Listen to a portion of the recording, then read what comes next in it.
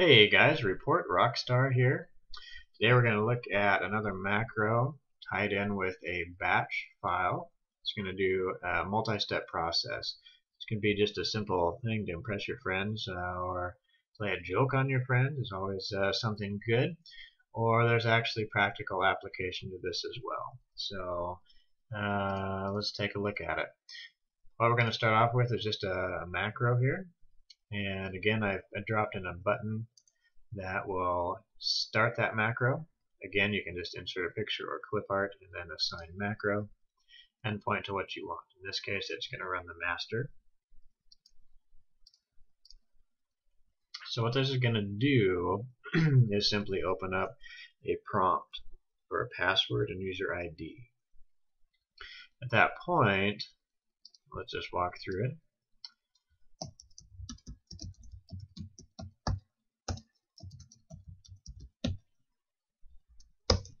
submit that.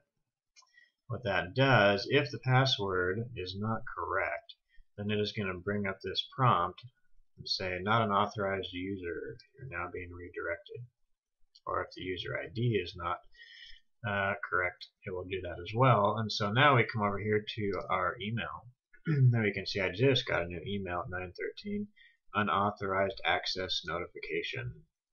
And what this does is the first step of the macro. We got this email, it just says hello sir, attempted login by user Mitch. This is the individual or the account of the computer that is currently logged in at this station.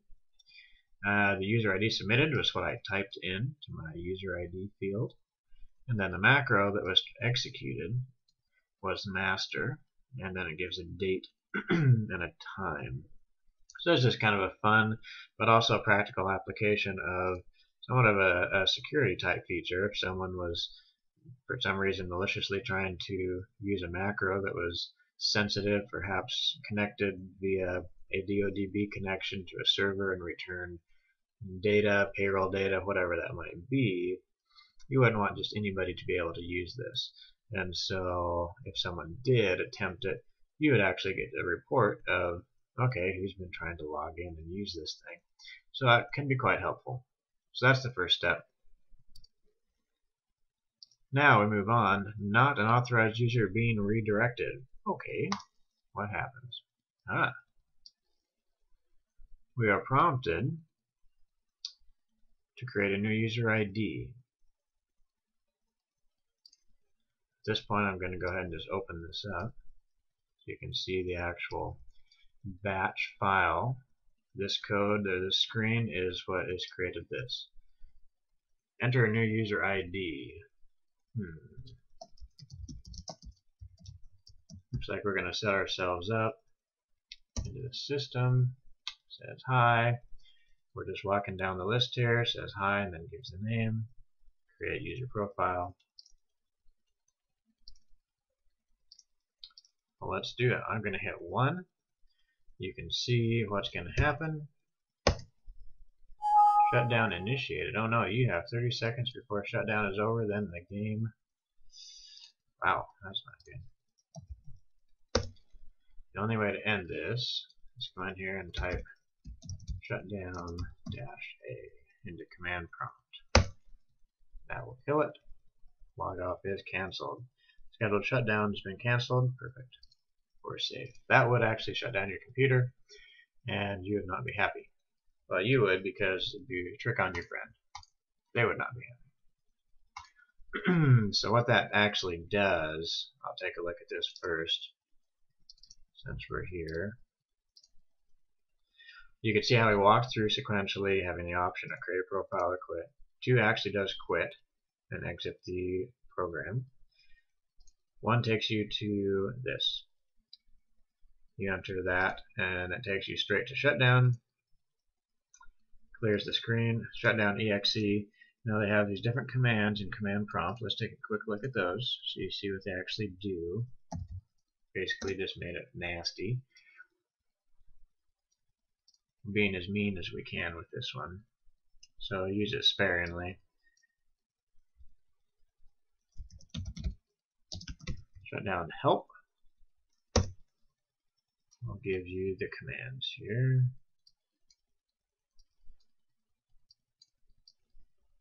Alright. So shutdown dot exe dash s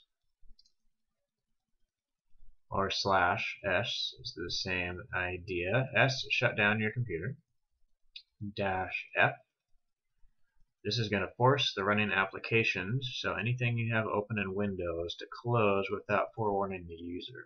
So they're not going to have an opportunity to save their program um, or Word document, whatever they have open. and there's no chance whatsoever. So that's what really kind of makes this extra mean. T is time. That's what sets your time out before the shutdown executes. So in this case, it's defaultly set to 30 seconds. C is a comment field, and that simply is the message that you receive. You now have 30 seconds before shutdown, and the game is over. Insert evil laugh.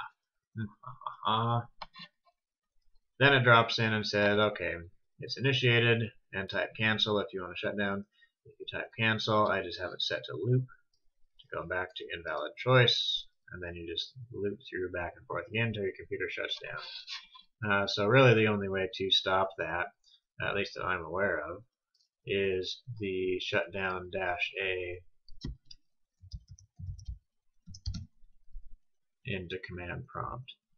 So I'm going to show you that real quick here how to get back in here just in case you're testing this out and you don't want your computer to shut down. If you're using uh, Windows 7 here like I am, you can just command and then the search bar here type cmd, that is your command line. If you're running uh, a Windows XP or something along those lines, then you can come in, there's going to be a button over here that says run. Click on run, and then in the box type cmd.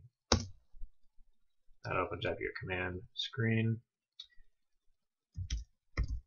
Shut down space dash A enter, that will stop it. In this case, unable to abort system because no shutdown is in progress, so we're safe. I will attach this so you can look at that and download it. The email piece, quickly run through that. Again, I will attach the spreadsheet so you can look at that and study that more thoroughly and adjust it to your need. Simply, we're declaring some variables here, UID, user ID, password, and a macro. Those three things are used at the beginning of the master. Macro just defines that in the email that now define it will say the macro master was run, you remember? UID and password is the two prompts and what you enter in there sets that variable. Those are passed to the email down here in a little bit. The if statement here says if the user ID does not equal, equal rockstar, then go to mail. The next macro, which it does. In our example, go to mail. The thing you need to worry about or adjust here is these settings. This is set up for a Gmail account. If you're using Outlook or something else, you will have a slightly different variation on this. Uh, so this currently, here is only going to work with a Gmail account you can search or maybe I can show another video on how to change that to a different service. At any rate, this is the sending account, so we're thereportrockstar at gmail.com. Password I changed just before I made the video and will change again before I post it. And your port. You may have to change these up a little bit uh, if you are using a different service. Here's the body of the email. Uh, hello, sir. Enter, enter. So two spaces. Attempted to log in by username. And that comes from, again, the Windows system who's logged in. The user ID submitted was entered at the password and user ID. And then the macro name, master, on, and now drops in the date and time. So then we come to we're going to send it to. I sent it to myself. And down here we have the from line, the subject, pretty straightforward, and then the final message box before it sends it off to the batch file that shuts down the computer, which we've already reviewed. The one piece to show you that I didn't is how we get the username on the computer. That was simply these four lines here. You can just copy and paste those. That simply finds the user of the machine uh, who's currently logged in and stores it in a variable right here. So there's not really a whole lot to this, but it's a really cool little trick and has some really good practical application as well. Again, I've got these included. You can download below from Dropbox. See what you can come up with. Let me know what you guys find and uh, how your friends like this. Alright, we'll see you next week. Happy Thanksgiving. Report Rockstar, signing off.